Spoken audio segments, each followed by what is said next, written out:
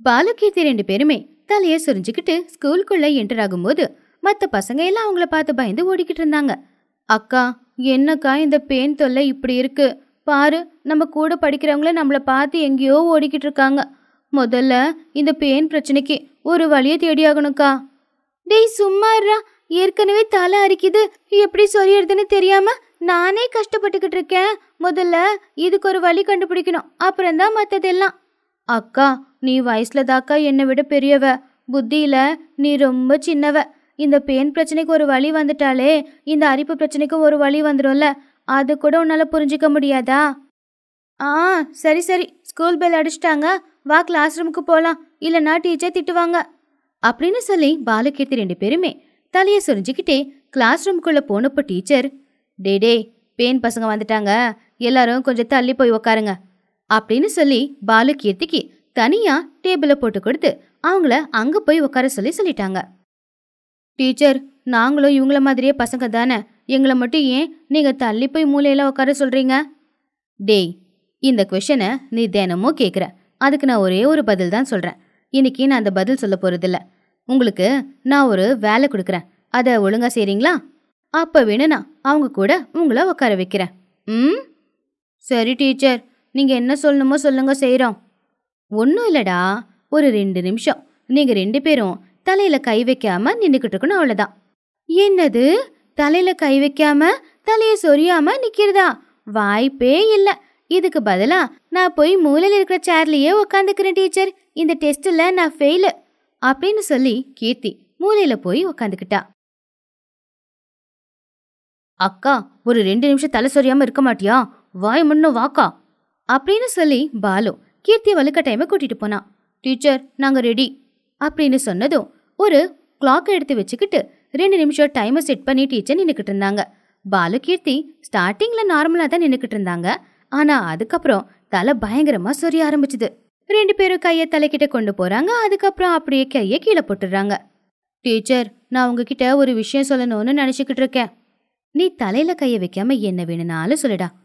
ஒன்றும் இல்லை டீச்சர். நேற்று நான் ஒரு படம் பார்த்தேன். அந்த படத்தில் ஹீரோவுக்கு தலையில் முடியே இல்லை. அந்த ஹீரோ வில்லனை சாகடிக்கிறதுக்காக போகிறாரு அந்த வில்லன் யாரு தெரியுமா? ஒரு காக்கா. அந்த காக்கா அந்த ஹீரோவோட தலை மேலே ஆய் போயிடுச்சு. அப்போ அந்த ஹீரோ அதை கையால் இப்படி தான் தொடச்சாரு. அப்படின்னு சொல்லி பாலு அவனுடைய கையை எடுத்து தலையை தொடச்சு காட்டினான். அப்போ அதை கவனிச்ச கீர்த்தி சொன்னா டீச்சர் டீச்சர் இந்த ரெண்டு நிமிஷம் உங்களுக்கு போர் அடிக்காம இருக்கிறதுக்கு நான் சின்னதா ஒரு கதை சொல்லட்டுமா? ம் சொல்லு. ஒரு யானையும் ஒரு எறும்பும் நல்ல நண்பர்கள். ஒரு நாள் அந்த காட்டுக்கு ஒரு வேட்டைக்காரன் வந்தான். அந்த வேட்டைக்காரன் யானைய பார்த்து அம்ப குறி வச்சானா அப்போ அந்த எறும்பு வந்து வேட்டைக்காரனை கடிச்சிருச்சு. வேட்டைக்காரனை பயந்து அங்கிருந்து ஓடி போயிட்டான். அதுக்கப்புறம் யானை எறும்பை பக்கத்துல கூப்பிட்டு நீ தான் நல்ல நண்பன் அப்படின்னு சொல்லி அந்த எறும்பை கட்டிப்பிடிச்சு அதோட தலையை எப்படி தடவி தெரியுமா? இதோ இப்படிதான் தடவி விட்டுச்சு டீச்சர். அப்படின்னு சொல்லி கீர்த்தி அவ தலையை சரிஞ்சுக்கிட்டா. இந்த மாதிரி அவங்க ரெண்டு பேருமே ஒவ்வொருத்தங்களா ஒவ்வொரு கதையை சொல்லி டீச்சருக்கு தெரியாமலே கொஞ்சம் கொஞ்சமா தலைய சுரிஞ்சுக்கிட்டே இருந்தாங்க. ம் சரி சரி. ரெண்டு பேருமே டெஸ்ட்ல பாஸ் ஆயிட்டீங்க. போய் எல்லாரு கூடவும் உட்காருங்க அப்படின்னு சொல்லி டீச்சர் எல்லாரு கூட உட்கார அனுமதி கொடுத்தாங்க. அக்கா இன்னைக்கு நம்ம ரெண்டு பேரும் எப்படியோ தப்பிச்சிட்டோம். ஆனா நாளைக்கு முடியாது. அப்பா அம்மா கிட்ட சொல்லி இதுக்கு ஏதாவது ஒரு வழியை தேடிதாங்க்கா ஆகணும். அப்படின்னு சொன்னா பாலு. அதுக்கப்புறமா ஸ்கூல் முடிஞ்சதும் பாலு கீர்த்தி ரெண்டு பேருமே ரொம்ப கோவமா வீட்டுக்கு வந்துகிட்டு இருந்தாங்க. அப்ப அவங்க அம்மா அவங்களுக்காக கையில எதை வச்சுக்கிட்டு காத்துக்கிட்டு இருந்தாங்க. டேய் பாலு கீர்த்தி வந்துட்டீங்களா? இந்தாங்க இது உங்க பேன் பிரச்சனைக்கு ஒரு நாட்டு வைத்தியர் கொடுத்த மருந்து. இது ஒரு நாள்ல ரெண்டு வேளை நீங்க உள்ள சாப்பிட்டுக்கணும். மூணு வேளை தலையில தடவிக்கணும். இதை தவிர வேற எதுவுமே சாப்பிடக்கூடாது. என்னது? இலைய சாப்பிடணுமா? ஐயோயோ என்னால முடியாதுப்பா. இல்லம்மா ஒரு வாரம் வரைக்கும் இதை மட்டும்தான் நீங்க ரெண்டு வேளை சாப்பிடணும். அப்பதான் அந்த பேன் தொல்லையில இருந்து வெளியே வருவீங்க. ஐயோயோ இது எனக்கு முடியாதுப்பா. இதை சாப்பிட்டா பேன் போதோ இல்லையோ நாங்க போயிடுவோம். அதுக்கு பேசாம நான் இந்த பேன் தலையோடவே இருந்துக்கிறேன். பட்னியாலாம் என்னால இருக்க முடியாது. அப்படின்னு ரெண்டு பேரும் போயிட்டாங்க. அப்படி அவங்க ரெண்டு பேரும் ஒரு மரத்துக்கு கீழே உக்காந்துக்கிட்டு தலைய சுரிஞ்சுக்கிட்டு இருந்தப்போ அந்த பக்கமா தூரத்துல ஒரு நாட்டு வைத்தியர் நடந்து வரத பாலு கவனிச்சான். அக்கா அப்பா அம்மா கிட்ட ஏதேது சொல்லி நம்ம ரெண்டு பேரையும் பட்னியா போட்டானே அந்த டாக்டர். அவன் தானே நினைக்கிறேன்க்கா. வா அவனை ஒரு வழி பண்ணிடலாம். அப்படின்னு சொல்லி பாலு கீர்த்தி அந்த நாட்டு வைத்தியரை போட்டு பயங்கரமா அடிச்சாங்க. அதுக்கப்புறம் அவங்க தலையில இருக்கிற பேனை அந்த டாக்டர் தலையில போட்டுட்டாங்க. ஏண்டா எங்க அப்பா அம்மா கிட்ட எது எது சொல்லி எங்களை பட்னியா போடலான்னு பாக்குறியா? இப்போ அந்த மருந்தை நீயே சாப்பிட்றா. ஏண்டா நீங்கள் தான் அந்த பெயின் பசங்களா? உங்களை தேடி தாண்டா வரேன். நான் வேற யாருக்கும் ஏதோ வைத்தியம் சொல்லும்போது அது உங்களுக்குன்னு நினச்சி உங்கள் அப்பா அம்மா கேட்டுக்கிட்டு வந்துட்டாங்க. உண்மையை சொல்லணும்னா உங்களுக்கு வேற மருந்து இருக்கு. அதை நீங்கள் தலையில் மட்டும் போட்டுக்கிட்டா போதும்னு சொல்லிட்டு உங்களுக்கு கொடுக்கலான்னு வந்துக்கிட்டு இருக்கேன். ஆனால் நீங்கள் போட்டு என்னை இப்படி அடித்து சாத்திட்டீங்களே? அப்படின்னு சொல்லி டாக்டர் அவங்களுக்கு ஒரு மருந்து கொடுத்தாரு. இப்போ இதை நானும் தான் தடுவிக்கணும். அப்படின்னு அவர் தலையை சொரிஞ்சுக்கிட்டே சொன்னார். அன்னையில இருந்து டாக்டர் கீர்த்தி பாலு மூணு பேருமே தினமும் அந்த மருந்தை தலையில தடவிக்கிட்டாங்க. பாலு உயரமான கம்பத்து மேல ஏறத பார்த்து கீர்த்தி பயந்து போய் அங்க ஓடி வந்தா. டே பாலு அது உயரமான கம்பம்டா. அதுல இருந்து கீழே விழ வாய்ப்பு இருக்குடா. அது வேற வழுக்குண்டா. வேணாண்டா. கீழே வந்துருடா. அக்கா நான் கம்பம் ஏறுற பிஸியில போயிருக்கிறேன். ஏற்கனவே நான் ஆயிரம் ரூபாய் பந்தயம் கட்டியிருக்கேன். பந்தயத்தில் நான் தோத்துட்டான் அப்புறம் என்னோட மானம் போயிடுமேன்னு யோசிச்சியா? நான் கீழே வர்றதுக்கு வாய்ப்பே கிடையாது. நான் எப்படியாவது இன்னைக்கு இந்த கம்பத்தில் ஏறியே ஆவேன். அப்படின்னு கீழே வழுக்கிக்கிட்டு மறுபடியும் மேலே ஏறினான் என்னவோ இவன் எப்பயும் என் பேச்சை கேட்கவே மாட்றான் இவன் எப்பதான் என் பேச்சை கேட்டு ஒழுங்கா நடந்துப்பானே தெரியல. அப்படின்னு அவ யோசிச்சுக்கிட்டு இருந்தா. அப்போ தூரத்துல இருந்து எல்லாருமே கத்த ஆரம்பிச்சாங்க. ஹா பாலு அந்த உயரமான கம்பத்து மேல ஏறிட்டான் போல. எல்லாரும் இப்படி கத்துறத பார்த்தா அதுவா தான் இருக்கணும். அப்படின்னு அவ மறுபடியும் திரும்பி அந்த கம்பத்துக்கிட்ட போனதும் பாலு அந்த கம்பத்து மேல தலைகீழா இப்படி தொங்கிக்கிட்டு இருந்தான் அவன் மேல ஏறி போனதும் அவனோட கால் சறுக்கி அவன் இப்படி எடகுடமா மாட்டிக்கிட்டான் பாலு பாலு அடே நான் தான் முன்னாடியே சொன்னலடா வேணான்னு. அண்ணா அண்ணா யாராவது வந்து காப்பாத்துங்கண்ணா. அவன் என் தம்பினா தயவு செஞ்சு காப்பாத்துங்கண்ணா. அப்படின்னு ரொம்பவே கெஞ்சி கேட்டா கீர்த்தி. எப்படிம்மா காப்பாத்துறது? அவன் எவ்வளவு உயரமான கம்பத்து மேல ஏறி இருக்கான் பார்த்தல்ல. என்னால அது மேல ஏற முடியாது. வேற யார்கிட்டயாவது கேளு போ. ஆமா உயிர் மேல ஆசை இருக்கிற யாராவது இந்த வேலையை செய்வாங்களா? அப்படின்னு அவர் சொன்னதும் கீர்த்தி அங்கிருந்தா டைம் வேஸ்ட்னு நினச்சிக்கிட்டு உடனே போய் ஒரு ஆள்கிட்ட ஃபோன் வாங்கி உடனே அதுல அவ எமர்ஜென்சி சர்வீஸுக்கு கால் பண்ணா. அக்கா இதுக்கு மேல என்னால முடியாதுக்கா. நான் கீழே விழுற மாதிரி இருக்கிறேங்க்கா என்னை காப்பாத்துக்கா. அப்படின்னு கத்திக்கிட்டு இருந்தான் பாலு. ஒரு பத்து நிமிஷம் எப்படியாவது பொறுத்துக்கோடா.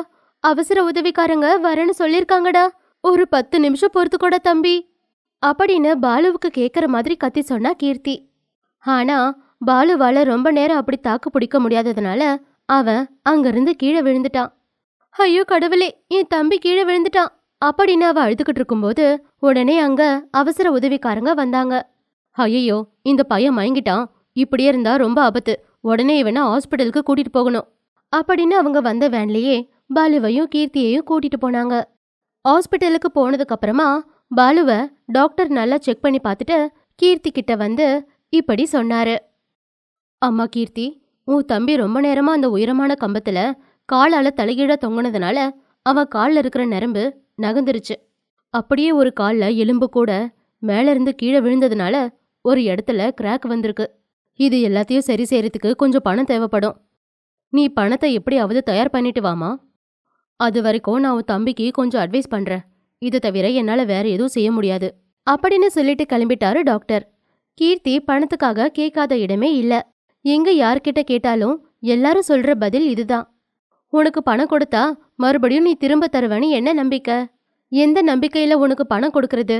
இப்படி இந்த ஒரே பதிலை எல்லார்கிட்டேயும் கேட்டு கேட்டு கீர்த்திக்கு ரொம்ப வெறுப்பாகிடுச்சு. அவ சாப்பிட்றதுக்கு சாப்பாடு கூட இல்லாம கீர்த்தி எங்கெங்கேயோ சுத்திக்கிட்டு இருந்தா.